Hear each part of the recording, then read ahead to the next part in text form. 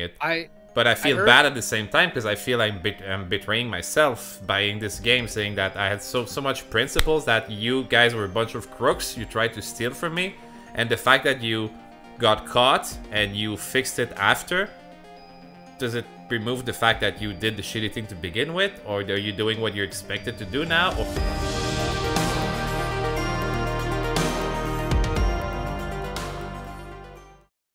had a debate I wanted to do sometimes. Should you uh, review a game and base your, uh, or maybe a piece of art, uh, let's say mostly games because they can be patched, on the state it was at released when they decided it was uh, good enough to take your money for it, or at the state it is right now? I had this debate with No Man's Sky for a long time. Apparently, No Man's Sky now, four years later, is a very awesome game, full of features. Is everything that I ever said it was going to be. It's actually in the game now but it was not when they started releasing it when they started charging full price for it and Yeah. people had to revolt had to scream had to throw a big fit for them to actually do something about it. So should they get the praise for saying oh they're good they're good they listened to their customers and they did the right thing or should you say dude you promised that that that that that that and that you didn't give it to me and when i pointed out that you failed what you tell me now you kind of felt obliged to fix it. Are you good for i don't know it's just big debate for me You know, I- I completely agree with that. Like I've still not played No Man's Sky because of those reasons.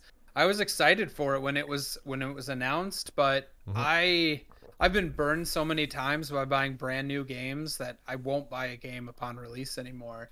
And one of the ones recently um, that hit me the hardest was Cyberpunk, Yeah. because CD Projekt Red was one of my favorite companies because of the fact that Witcher 3 was a brilliant game. When I bought Witcher 3, I didn't even have any interest in playing it. I just was like, eh, it's on sale. Maybe I'll play it. It's fantasy. Uh, okay. But I opened that up and I found a thick booklet that came with it, stickers, the soundtrack, which I still listen to, and a poster and all the shit. I'm like, guys, and free DLC and a thank you card for buying the game. And I was just like, this is a big company and they're doing this shit. Like, I'm I'm on board CD Projekt Red. And so when they were announcing Cyberpunk, and I I was just like, I'm not into the whole cyberpunk sort of genre, but I am on board with CD Projekt Red. Let's see where this goes. Um, I just they didn't they didn't give us what we what we needed right off the bat at all. So Um, speaking of cyberpunk, I see two mindsets right now. If you were to, so you said you didn't buy it, right? Cyberpunk. Yeah.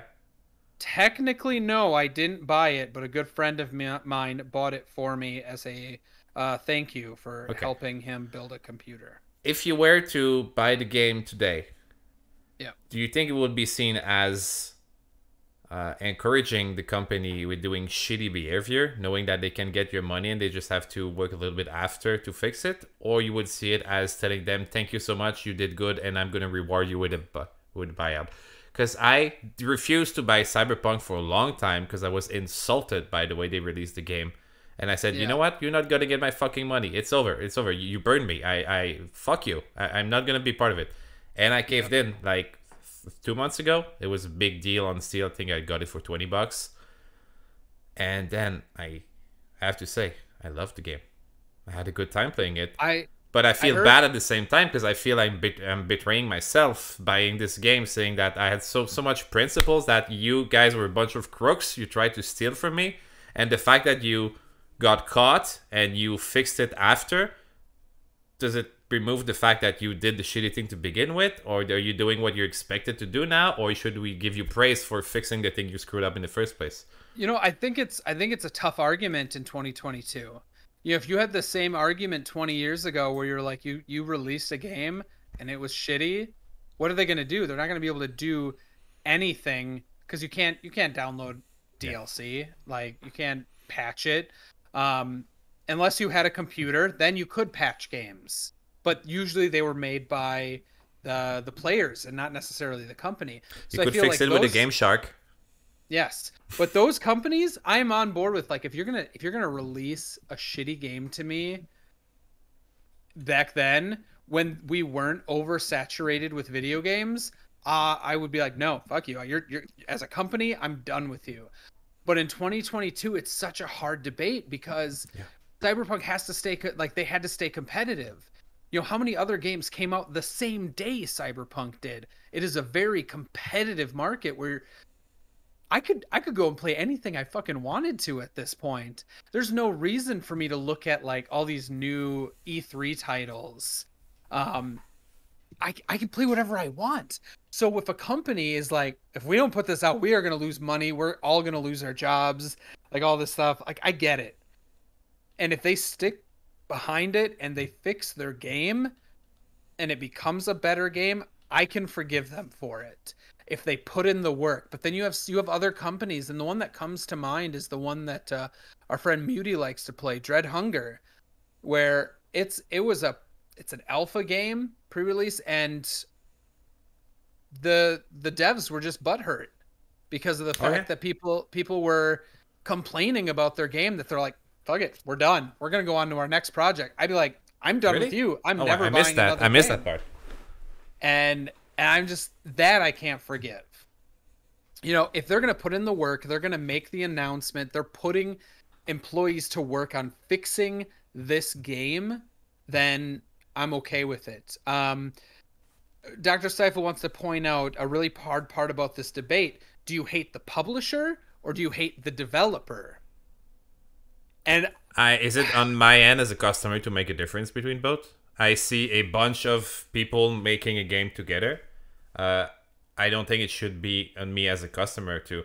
So when you go to a restaurant and you get a very very shitty meal, do you just stop going to that restaurant altogether, or you just say it's the chef that was shitty and the server was good, and I'm still gonna find a way to come back to give a little bit of tip to the, to the server because it's not their fault the chef fucked him up. I usually stop going to that place altogether. It's a team, it's a group of people that made something bad whoever the fault is, as a customer, I don't think it's on me to try to differentiate. I bought or I got served something bad. I'm just gonna go with the big name that's on top of it. They're responsible for it. That's the way I see it. I I think that's a very very good analogy about it. Is is again 20 years ago, how many of us could have distinguished between those of a game? Who was the publisher? Who was the developer? I'm sure some of us can. I couldn't. I honestly, you told me about Super Mario 64 or anything on the 64, I'd have been like, yeah, Nintendo made it.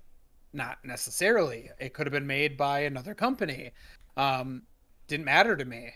If the game was shitty, I blamed I blamed who who I thought was to blame. So uh, I agree with that. That yeah, it the developers might be getting shit on because the publishers want to push the game out, but at the same time, like it's it's an it's an entity that I feel has to be um, looked at and blamed yeah. for that experience. It depends on who handles the situation the best after the fact. It's almost like uh, the, the, kind of discussion we had last week about uh, celebrities doing shitty things. Let's say you are part of a band and it's well known, at least in the band, that let's say the lead singer is a total piece of shit uh, that does very bad things.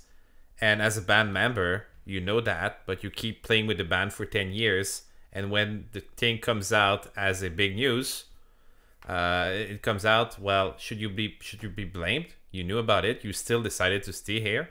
You're part of the thing. It's not unlike uh, a movie worker that just ends up working on a movie, and you end up late. You learn later that let's say people on top, like J.K. Rowling, is a bad person that's saying shitty things. Then you can blame the uh, the the, guy that was doing the lightning for the movie because he didn't choose to be there. He just he got a job, he did his things, and it turned out the people on top that he has nothing, no LinkedIn, turned out to be pieces of shit. So it's very, I think it's very different. Uh, if the the publisher or the developer, the developer somehow at some point decided that they would sign a contract with that uh, with that publisher, they decided they would have a mutual relationship. Well, they even if the publisher they chose fucked them up, they still chose them, right?